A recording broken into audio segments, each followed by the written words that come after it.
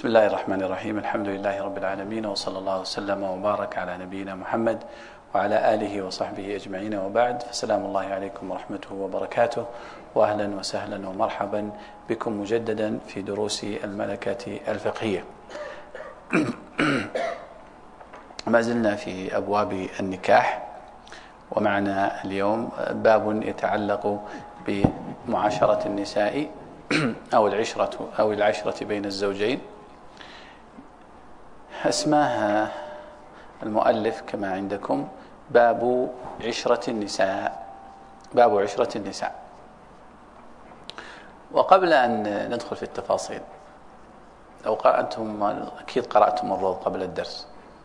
ستلحظون يلزم كل من الزوجين أليس كذلك؟ والزوجين والزوجين كررها مرارا. لكن في الباب قال باب عشرة النساء. فلماذا لا يكون الباب باب عشرة الزوجين أو العشرة بين الزوجين؟ ها؟ أيوه. وعاشروهن خطاب موجه للذكور. وعاشروهن طيب. أغلب الأحكام متعلقة بالرجل. كل حكم في هذا الباب سيكون إيه؟ حق لشخص وحق على على الآخر. هل في شيء يخرج من ذلك؟ أو أدب من شخص يستحب أو الأولى له امتثاله رعاية لحق الآخر. أو أن غالب الفقه أصلا يكتب موجها للرجل وإن كانت المرأة تدخل في ذلك. ها؟ إيش رايكم قوامة بيد الرجل فكيف يعاشر؟ ترى الباب لو تؤمل من جانب آخر ها؟ يعني يبدو أن الآن من البداية الفقيه سيركز على حقوق المرأة على الرجل هنا. فهضم حق المرأة يعني متوقع.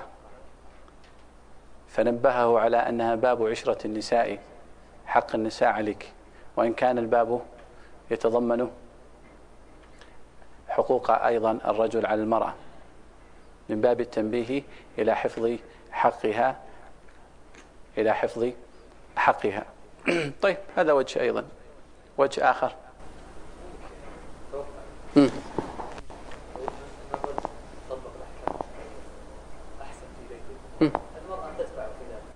لو أحسن الرجل ستحسن المرأة. جميل. هل لو كتب هذا الباب بقلم النساء. ستختلف بعض الأحكام؟ ها؟ ستختلف. إذا نجعله واجبا على النساء أو واجبا على الجميع؟ خلاص.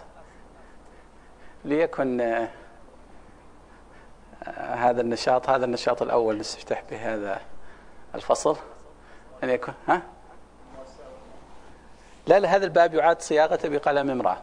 نراها ستختلف بعض النساء تكون يكون موجه مكتوب بقلم امرأة موجها لامرأة مباشرة. أي. تختلف؟ ستختلف.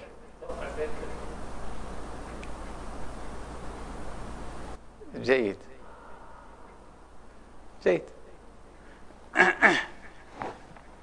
باب عشرة النساء. طبعا لا شك أن الله سبحانه وتعالى هو أعلم بخلقه آه، نص على ذلك في كتابه لأهمية هذا الموضوع. عاشرهن بالمعروف لهن مثل الذي عليهن معروف وغيرها من الآيات التي نصت على حقوق المتعلقة أو الحقوق حقوق المرأة على زوجها أو الحقوق المتبادلة أو الحقوق المشتركة بين الزوجين. وذلك يعني ما نص الله عليها إلا لأهميتها لأن بها تقوم الأسرة وبقيام الأسرة واستقرارها يقوم المجتمع. لا يمكن أن يكون عندي مجتمع سوي فيه أسر مفككة. فإذا كان الصراع داخل الأسرة داخل الأسرة الذي التي يفترض فيها أن تكون المكان الآمن والمستقر والمريح للإنسان أو لزوجه أو أيضا أبنائه وبناته. إذا كان هذا آه، البيت غير مستقر من باب أولى أن يتأثر ما بعده ما بعده. ولهذا في الأصل أن يكون هذا البيت أو هذا الزوج لزوجته والزوجة لزوجها سكن صح؟ ومودة ورحمة وما إلى ذلك. فلهذا اهتم الله يعني ذكر الله حكمها في كتابه وذكر النبي صلى الله عليه وسلم آه، جملة من هذه الأحكام في عدد من الأحاديث النبوية. واهتم الفقهاء بأحكامها فأفردوا لها فأفردوا لها بابا آه، مستقلا. وهنا قبل الخوض في هذا الباب ينبغي آه، أن نفرق بين أمرين. أن نفرق بين أمرين ولعلي كررت هذا الأمر أكثر من مرة. الفقيه يكتب بقلم المفتي ويكتب أيضا بقلم القاضي. أو لعلي بدل ما نستخدم عبارة قبعة قبعة المفتي وقبعة القاضي لأني ما أذكر أني رأيت مفتيا لابسا قبعة. لنقل أنه أحيانا يلبس مشلحة أو عباءة القاضي وأحيانا يلبس عباءة المفتي. فهذه الأحكام سيكون جملة منها أحكام هي من قبيل الفتوى وأحكام هي للتقاضي. عذرا. آه، أقول أن هذه الأحكام جملة منها ستكون آه، أحكام راجعة للفتية وأحكام راجعة للقضاء. ولا شك أن بين آه، الجانبين تداخل ظاهر يصعب يصعب أن تميز أحكام هذا في باب وأحكام هذا في باب. ولأنها تصعب سأجعلها واجبا إن شاء الله. لعل هذا الواجب الجماعي الذي نشترك فيه. أريد أن تميزوا هنا بين الأحكام التي آه، طابع القضاء فيها أظهر والأحكام التي طابع الفتية فيها أكثر. فأرجع للنقطة التي ابتدأت منها. آه، أقول أن الفقهاء هنا يذكرون جملة من الأحكام من باب أن هذه الأحكام يحتاج إليها القاضي أو يحتاج إليها عند التقاضي. وليس هذه وليست هذه خلينا نسميها المحاققة أو التمييز الدقيق بين الحقوق هذا حق لهذا وهذا الحق لهذا. هذا هو المراد في الحياة الزوجية. أن كل واحد يأتي عنده كذا قائمة هذه حقوقي عليك يجب أن تنفذها. آخذ معي قائمة واحد اثنين ثلاثة نفذتي الحقوق التي لي عليك وهي معها قائمة حقوقي كذا وكذا ويؤشر أنه تم تنفيذ المطلوب. لا ليس هذا المراد في الحياة وإنما هذه الإجراءات الصارمة أو الخطوط الفاصلة الواضحة بين ما هو حق وبين ما هو مستحب يحتاج إليه أين؟ عند التقاضي. فالقاضي وإن كان سيحاول الإصلاح بين الزوجين في البداية لكن مهمتها الأساسية هي الفصل في الخصومة صح ولا يعني ما يستطيع القاضي يقول أوه أنا لم أستطيع أن أوفق بينكم للأسف. اذهبوا إلى شخص آخر. يستطيع أن يقول ذلك؟ مهمته أن يفصل في الخصومة. لو آه، استطاع الصلح فهذا الصلح خير. لكن مهمة الأساسية أن يقوم بالفصل في هذا الحكم. ولهذا هو يحتاج إلى معايير واضحة وإلى خط فاصل دقيق ظاهر جدا وتجدون أنه يحسب باليوم والليلة. أليس كذلك؟ لأن الدعوة سترفع. أقل من كذا ليس لك حق أو ليس لك حق أكثر من كذا لك حق أو ليس آه، أو لك آه، لك حق. واضح؟ فمثلا لا يريد الفقهاء أن الزوج يجامع زوجته مثلا كل أربعة أشهر مرة. صح ولا لو سألته يقول ينبغي على الزوج أن يعف زوجته وينبغي على الزوجة أن تعف زوجتها وينبغي عليهم أن يعيشوا في وئام ويراعي كل شخص منهما أن يراعي كل منهما الآخر في ذلك. لكن عند التقاضي نحتاج إلى حسابها حسابها باليوم.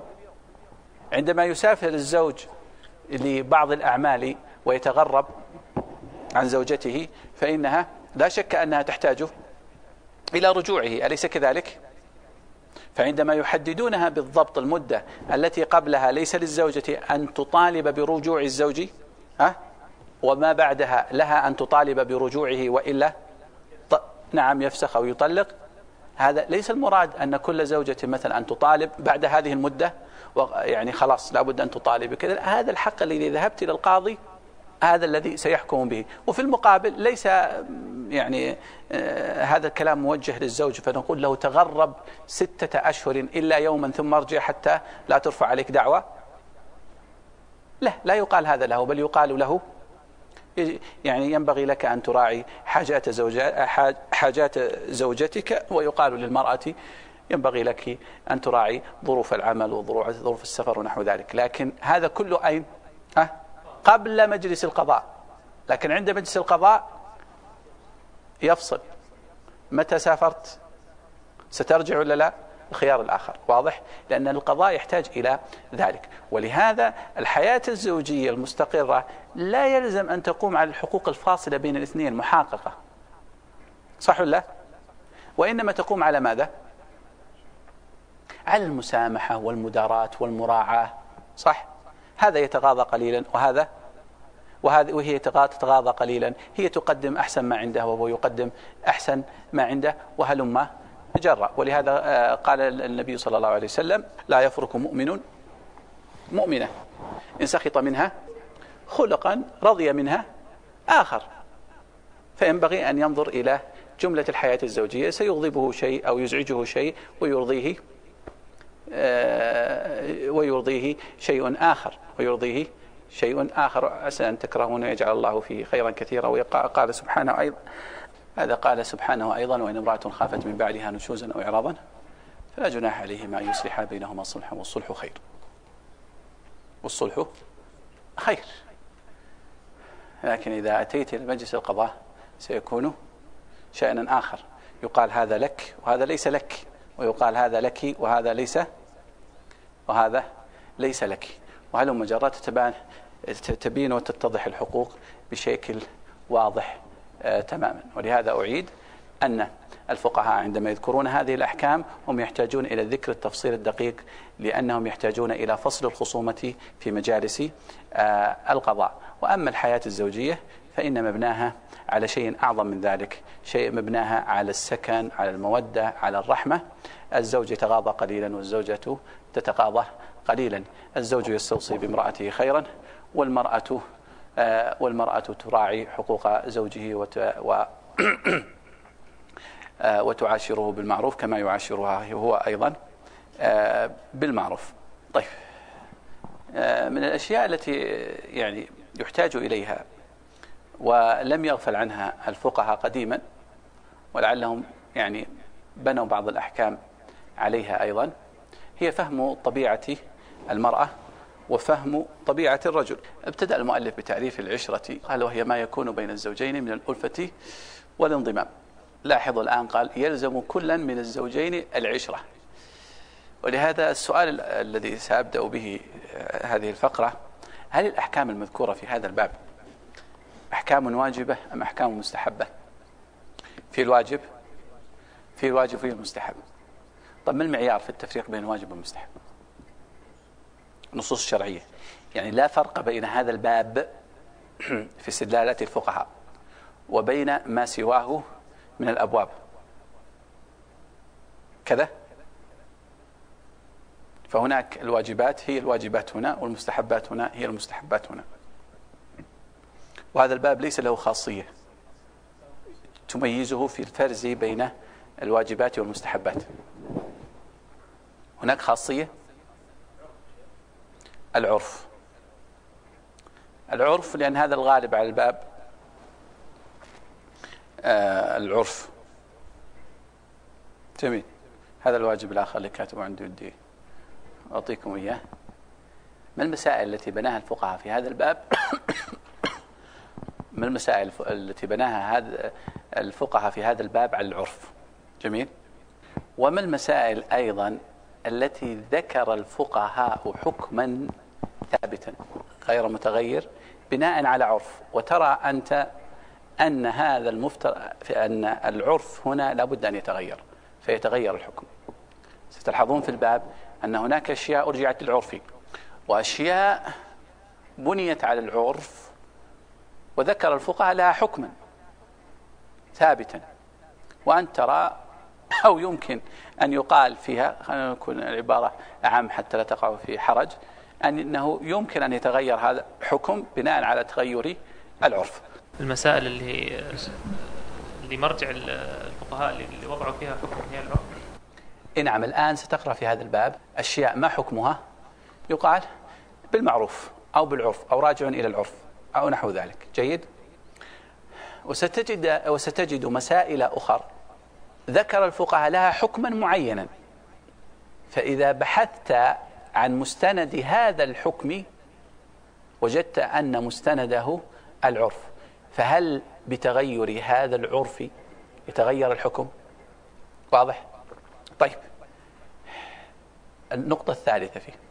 ما رده الفقهاء أو بناه الفقهاء مراعاة للخلقة خلقة الإنسان أو الجبلة جبلة الإنسان؟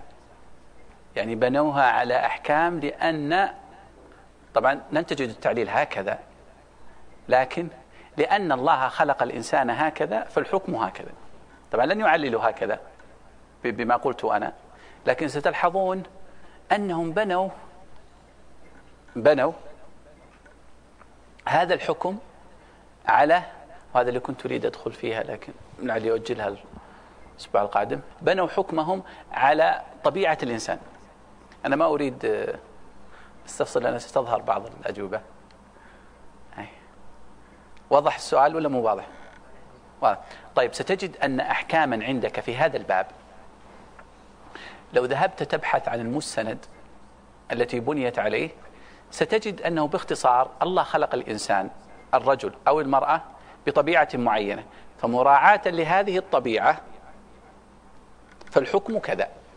واضح السؤال؟ واضح؟ واضح؟ واضح. طيب. ويندرج تحته؟ هل هذه الطبيعة التي رعاها الفقهاء راجعة للخلق البدني للإنسان أو النفسي؟ ستجد شيئا كذا وكذا أو لا تجد؟ هذا بعد الفرز يعني إن شاء الله. واضح السؤال الآن. أي طيب. يلزم كل من الزوجين العشرة أي معاشرة الآخر بالمعروف. هذا فقرة جديدة شوف مثال عفوا فقرة ممكن تكتبونها بداية الواجب. قال بالمعروف. حدد. ها؟ ما حدد. هذا مثال على الأول اللي هو هم أرجعوا للعرف. العرف والعرف يتغير. طيب هنا قاضي عفوا. فقيه قاضي عشان انه اكتبها اكتبها. أو أشياء ترى يحتاجها الاثنين يحتاجها الاثنان. القاضي والمفتي. أو المفتي يعني إذا كان في نصح وكذا سيحتاج يعني اجعلها عباءه المفتي. فهو مردها إلى المعروف والمعروف يتغير والتغير ليس فقط بتغير الأزمان ولا حتى أيضا فقط تغير الأماكن أيضا تغير تغير الجيل. تغير الجيل. قد يكون الكبير إذا احترم زوجته يناديها بأم فلان لاولادها لكن قد تكون المتزوجة حديثا سيغضبها سيغضب يغضبها هذا النداء. فبالمعروف بس لن تجد لن تجد حكما أشمل وأدق ويمكن تطبيقه على اختلاف الأزمنة والأمكنة. والأحوال مثل هذه العبارة. آه الآن الفقهاء دخلوا بدأوا يدخلون في, بعض التفاصيل. فلا يمطله بحقه ولا يتكره لبذله ولا يتبعه أذى ومنة لقوله تعالى وعاشرهن بالمعروف سؤالي من قال لهذه الفقهاء بأن هذه هي العشرة بالمعروف؟ أو طبعا لا يلزم أن يكون هذا كل المراد لكن هذا من العشرة بالمعروف. من الذي قال إن فلا يمطله بحقه هي العشرة بالمعروف؟ وتلحظون الآن السياق سياق إيجاب ولا استحباب؟ ها؟ يلزم. فلا يمطله آه لأنك كذا استصعبتها شوية. صح؟ يعني لو أجل يأثم. لم يرضى الآخر يأثم. إيه يتكره. يعني لو جاب الزوج الأغراض أتعبتونا وأشغلتونا وإلى آخره وسلمها. آثم؟ أنا ما قصرت وأنا سويت وأنا وأنا وأنا وأنا إلى آخره. أو قالت الزوجة أنا أفنيت عمري وراك وسويت ويا ما فعلت ويا ما تركت. يأثم أو تأثم؟ ها؟ لقوله تعالى وعاشرون بالمعروف وقوله ولهن مثل الذي عليهن بالمعروف. يعني ما رأيكم؟ من أين أست... من أين أتوا بهذه؟ ما في جواب. طيب. وينبغي آه، ضعوا اصبعكم على هذه العبارة سأرجع لها إن شاء الله. وينبغي إمساكها مع كراهتها. شوف الآن خلع ما هذا هذا هذا الحكم ما هو في للقاضي أصالة. وإن كان القاضي قد يقول امسكها وكذا إلى آخره لكنه ليس عمل القاضي الأساسي واضح الآن. وينبغي إمساكها مع كراهته لها. لقوله تعالى فإن كرهتموهن فعسى أن تكرهوا شيئا ويجعل الله فيه خيرا كثيرا. قال ابن عباس ربما رزق منها ولدا فجعل الله فيه خيرا كثيرا وكثيرا. ما تسمعون بقصص الرجال والنساء؟ أنهم حمدوا العاقبة ولا أقول كثيرا ولا أقول دوما أقول كثيرا. وإلا لما شرع الله الطلاق. لولا أن بعض آه، الصور والأحوال الإمساك أو استمرار الزوجية غير مناسب لما شرع الله الطلاق. فبما أن بعض الصور وبعض الأحوال يشرع فيها الطلاق فدليل على أن ليس كل أحوال هذا الزواج قائم على الاعتدال بل الأولى إنهاء هذا العقد. لكنه ينبغي إمساكه إمساكها مع كراهته لها. مع كراهته لها. أي نعم. هل الآن ينبغي الإمساك مع شيء آخر ولا فقط إذا كان القضية راجع إلى هذا تغشيش في الجواب ترى اللي السؤال الثاني. الكراهة قلبية. لم يتطرق إلى ما صدر منها من مطالبات أو ستأتي. ستأتي.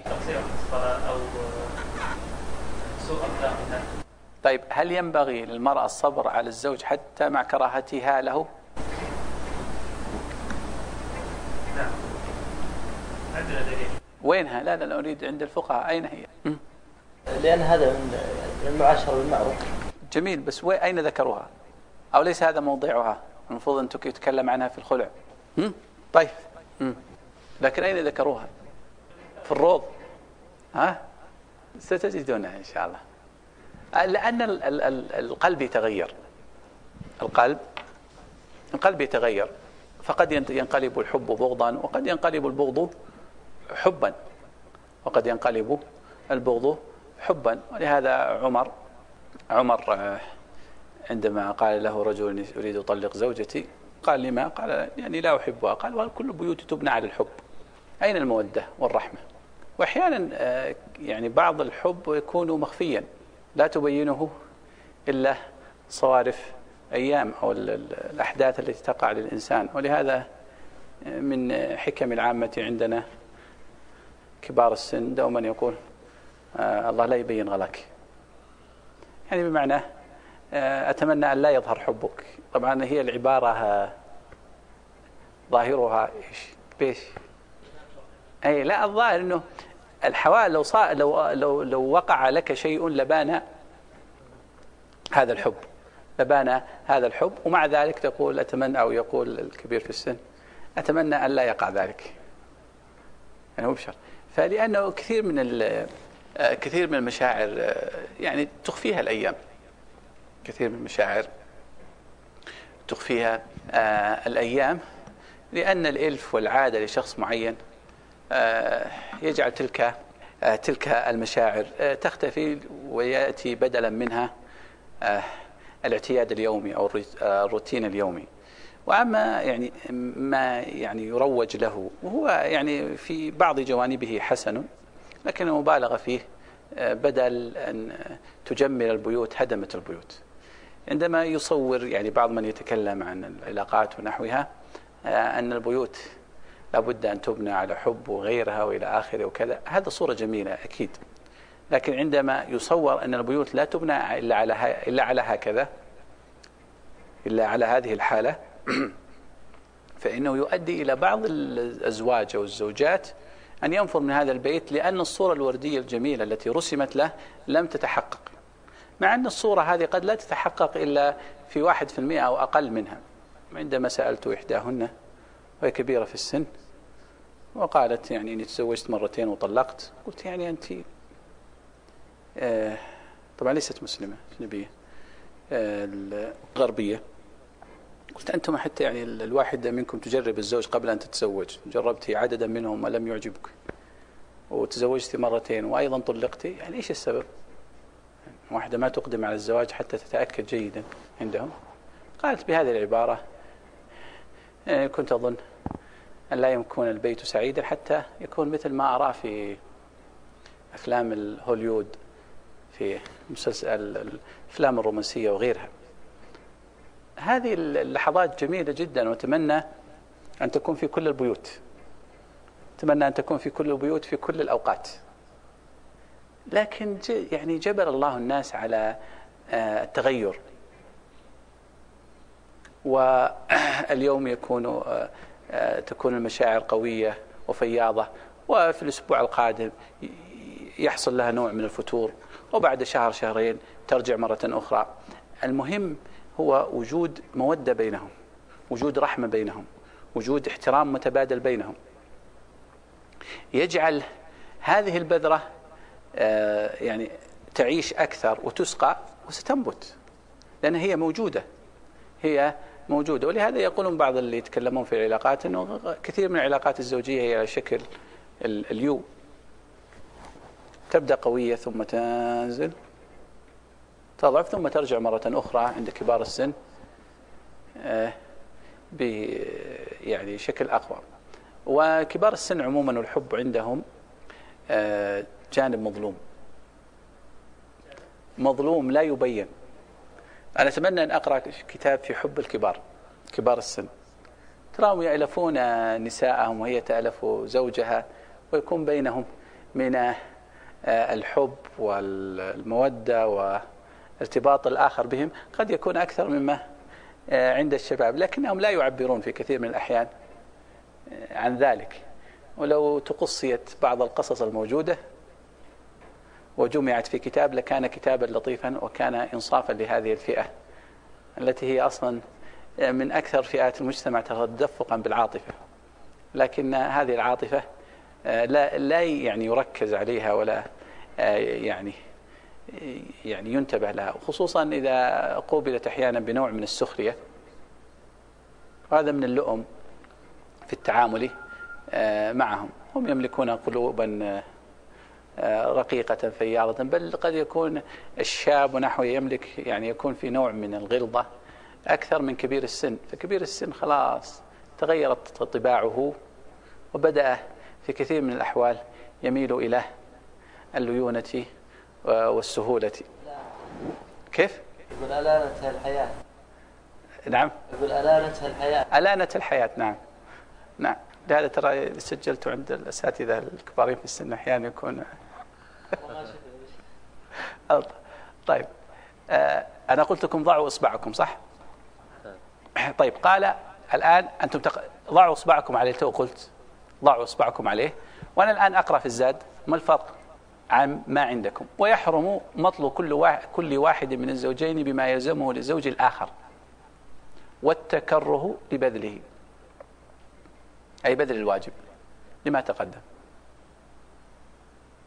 ما الفرق؟ لا لا لا. ما دخل الآن هذه. ناظر زين وينبغي لا مو بينبغي. ما قال ينبغي أول. لا أقصد عبارة الرب وينبغي مساكنة. لا لا لا لا. أنا قلت لكم اللي قبل. اللي قبلها مو بينبغي. ارجعوا اقرأوا. أرجع أقرأ معكم؟ ها؟ طيب ويحرم. ها بسم الله. طيب قال يلزم يلزم. وأنت جملة من الزملاء قالوا أنه يلزم يعني يجب الآن. فلا يعني هذا تدل على التحريم عندهم. يمطله بحقه ولا يتكره لبذله. هذه صح زايدة ولا يتبعه أذى ومنة. لكن الآن بعدها ضعوا الإصبع عليها مرة أخرى حتى إذا ها؟ الآن يقول لك ويحرم مطلو كل واحد والتكره لبذله. ما الفرق؟ طب اقرأ الزاد. يعني هل البهوتي أضاف حكما جديدا على الزاد؟ أعطني, أعطني إياه. الأول قال يلزم الزاد فقط. الزاد يلزم الزوجين العشق بالعرض. جميل. ويحرم وقت كل واحد فيما يلزمه الآن. طيب. يعني الآن اللازم الثاني للطرف الآخر.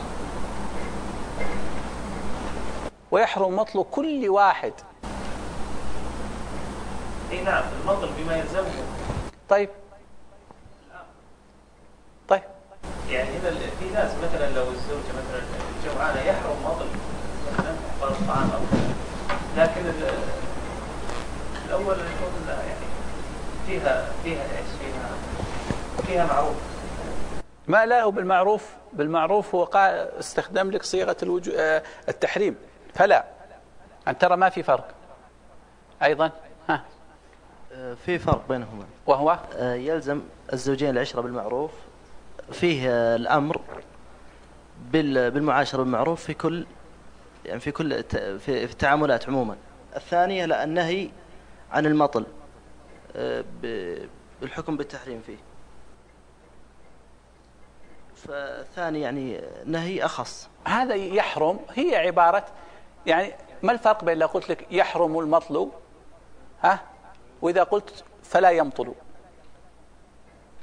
لا أنا كنت أتكلم عن عبارة الزاد فقط. لا لا لا لا أتكلم عن الروض. الروض هو اللي يدخل عبارة. عبارة الزاد ما في ما فيها مشكلة. يعني هل عبارة الروض أضافت حكما جديدا؟ يا مشايخ طب التوضيح وراء بعض متكرر. حقيقة العبارة عندي فيها مشكلة وخصوصا أن الأصحاب لا يكررون. لا يتكررون هذه العبارة. وفي أكثر من موضع البهوتي آه، يفعل ذلك. يذكر شيئا في الشرح سيأتي لاحقا في الزاد. فلو حذف من شرحه لن يضر. موجود أمثلة مثلا مثال في التيمم وفي غيره. فيبدو أن البهوتي أثناء الرجوع للمصادر يكتب هذا الشرح. ولهذا يعني أنا ما أرى أنه فيه حكما جديدا. ولو حذفت هذه الفقرة اللي قبل لما تغير شيئا والمفترض أن يكون الشرح تحت.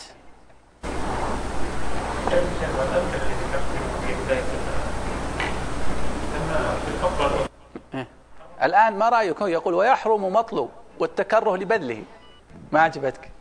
والله ما أدري أنا أحس في فرق يعني. ها؟ أحس إن في فرق بين الكلام هنا والكلام بيني وبينك الأسبوع القادم. طيب إن شاء الله. تأملها وتاملوا ما دليلهم على التحريم؟ مع انكم ستجدون أن كلامهم آه، يعني قوي وإن كان الناس يتساهلون فيه. الأصل في الأوامر؟ لا هم لأنه الناس معتادين على هذه الأمور. ف يعني يستغربون إنك تقول ترى هذا حرام. يعني أضرب مثالا. لو كان من حق الزوجة أن تأتي بالأغراء أو تأتي بالنفقة أو تأتي بأشياء معينة ويتأخر اليوم واليومين.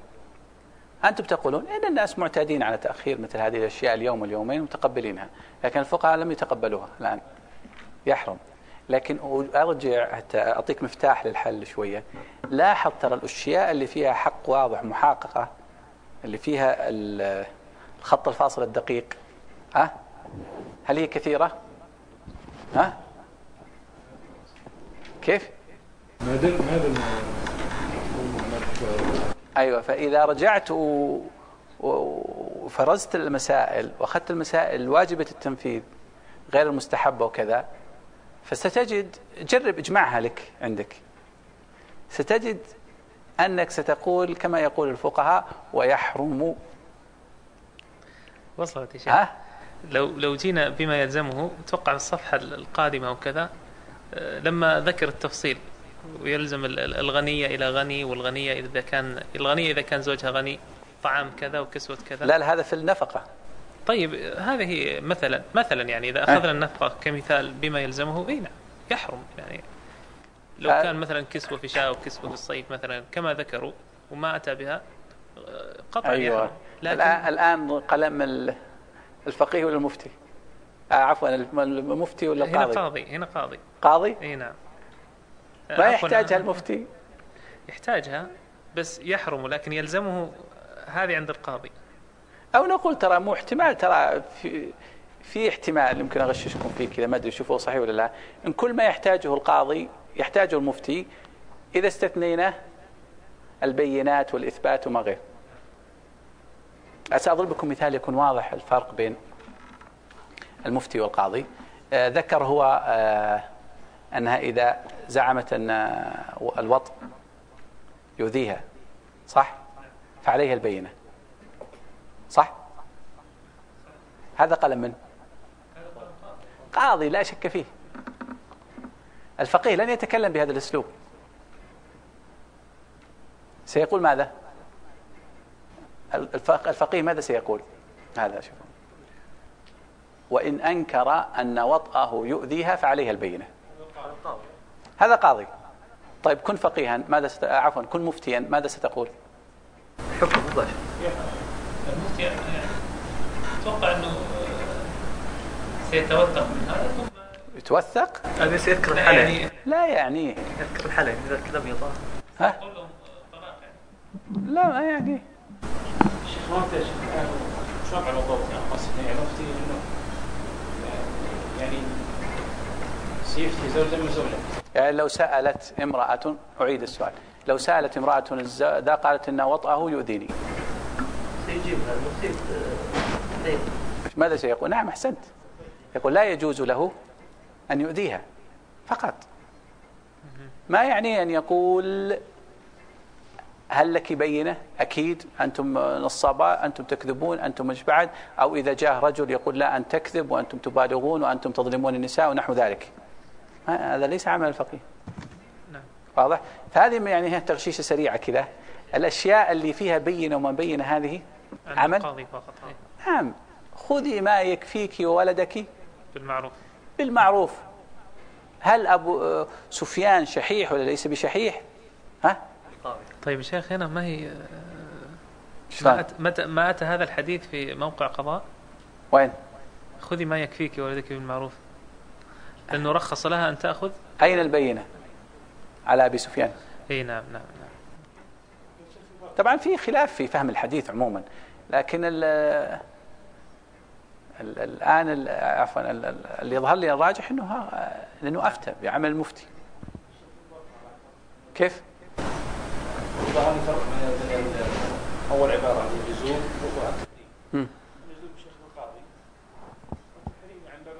طيب حتى لا نستعجل في الحكم على ذي العبارة قارنوها بكتب الأصحاب. جيد؟ قارنوها بكتب الأصحاب. طيب الآن سيتكلم عن مسائل تتعلق بتسليم المرأة. ولاحظوا الآن هذا أيضا الباب أكرر ما ذكرته سا- سابقا.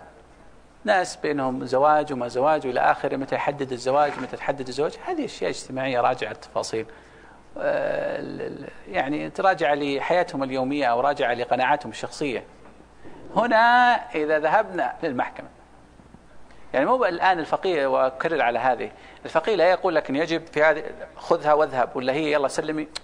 لا الآن أكرر على هذه لأنه بعضهم بدأ يفهم كلام الفقهاء بغير محمله ال- ال- الموجود في كلام عفوا في في كتبهم أو في مدوناتهم الفقهية.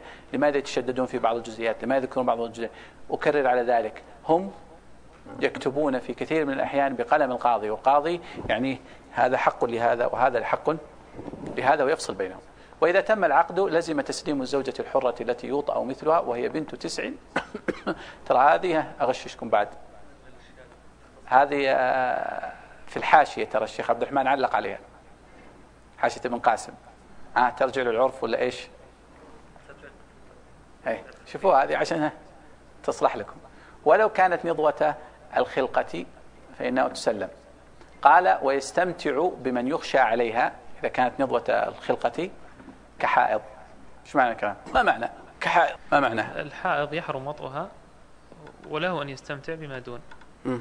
فكذلك التي مثلا صغيرة أو كان في وطئها ضرر آه، يستمتع منها بما دون. الصغيرة بيأتيك ما تسلم. نعم. الصغيرة ستأتي بعد قليل لا تسلم. أقصد يعني فوق تسع أي. و... وعليها ضرر في في الوطء طيب. فألحق الحكم التحريم تحريم الوطء وجواز الاستمتاع بما دون. طيب يعني الكاف هذه إيش معناها؟ أنا أريد الكاف. تشبيه. تشبيه. نعم. تشبيه دليل. الحكم. تمثيل. كما تستمتع بالحائط قياس هل هي نفس الكاف ولا ي... ولا يصلي خلف فاسق ككافر؟ يعني أموت في نفسي شيء من كاء والإخوة اللي عملوا في إثراء على طبعة الروض أتعبتهم كافات البهوتي أنهم يحتاجون يلونون التعليلات بالأزرق أو الأدلة المعنوية بالأزرق فالكاف هذه ما- غششته إلا إلا اقرأها زين أي. الكاف هذه هذه إيش؟ يعني إما للتعليل. أو للتمثيل مم. فيه آه، معنى آخر لكنه بعيد الحصر يعني ما ما لكن هم أحيانا قد يريد التمثيل من باب الحصر. خلال تأمل كتابات البهو يعني كتابة البهوتي في من خلال التأمل من خلال التأمل في استعمالات البهوتي لهذا الحرف الحرف الكاف يظهر أن البهوتي في الروضي وفي غيره وكثير من الفقهاء أيضا يستخدمون الكاف لثلاثة معان. الأول للاستدلال أو للتعليل. يعني خلينا نقول أعم للاستدلال لأنه قد يكون قياس. يعني الكاف هذه تكون قياسا وهي ما قرأت ترى شرح المنتهى لابن النجار أي قال ويستمتع بمن يخشى عليها كحائض وقد تقدم أنه ليس له أن يستمتع من الحائض إلا بما دون الفرج آه هي قصدك العبارة هذه؟ نعم هذه إيه. تستخدم ظنيت المعاني. هذه سأخبرك كيف تعلم؟ بهذه الطريقة. كيف أعلم الفرق؟ طيب أعيد. نعم يا شيخ. طيب آه البهوتي وغيره من الفقهاء آه يستخدمون الكاف لمعان عدة. يظهر لي أنها تدور حول ثلاثة معان. المعنى الأول للاستدلال. المعنى الأول للاستدلال يعني غالبا يستخدمونه قياس. وهذا ظاهر. يعني يقولون كصلاة أو كصوم يعني أو نحو من الألفاظ التي يقيسون مثلا شيء على شيء آخر. والمعنى الثاني التمثيل كما ذكر بعضكم. المعنى الثاني التمثيل. يعني مثل آه، عندنا في هذا الباب يقولون كظفر صح ولا لا؟ فيمثلون يقولون كظفر ونحوه أو نحو ذلك من الأمثلة. والمعنى الثالث هو المعنى التي الذي قد يلتبس أحيانا آه، لنسميه التفريع. نسميه التفريع. يعني هذه المسألة فرع عن تلك المسألة أو هذه الفرع مثل هذا الفرع. يعني يجعلون حكم هذه المسألة مثل حكم هذه المسألة. وهذا ما معنى الآن؟ يقول يستمتع بمن يخشى عليها كحائض يعني كما كما يستمتع بالحائض. ما سبق أن ذكرته لك؟ ها؟ أيوة طبقه هنا. فيحيل الآن الحكم يحيل الحكم على ما سبق. والتفريع أحيانا يذكر يعني يريد أن يجعل حكمها كحكم فرع سابق وأحيانا يريد أن يذكر لك حكما جديدا. وهذه قد تشكل أحيانا في ألفاظ خاصة المتون. صاحب المتن أو صاحب الشرح المختصر يريد أن يذكر لك أكثر عدد ممكن من الفروع. فماذا يفعل؟ ينظر هذا الفرع بفرع آخر. أنت عندما تقرأه تظن, تظن بادي الرأي أنه يقيس أو أنه سبق ذكره ذكر هذا الفرع فهذا الفرع مثله. لكن الحقيقة هو يذكر حكم فرع جديد. كما مثلا في عندما ذكر لا يقتص من جرح قبل برئه ثم قال كما لا تطلب له دية. فالآن أنت قد تقول هل قياس أو هو أصلا صاحب الزاد يذكر أدلة ولا أقيسة؟ يذكر أو ذكر في موضعين أو موضع. لكن الأصل عنده ألا يذكر. الأصل عنده ألا يذكر إلا ما شذ. فالأصل أنه لا يذكر فهو لا يريد لك أن يقيس. فأخرجناه. ولا يريد أن يمثل لأنها واضح أنه ليس كمثال. إذا هل هو للتفريع؟ نعم للتفريع. أين ذكر أن لا تطلب الدية قبل أصلا كتاب الديات سيأتي. وذكرها في الجنايات. الديات ستأتي. هو يريد ذكر حكم جديد. ولذلك مواضع عدة.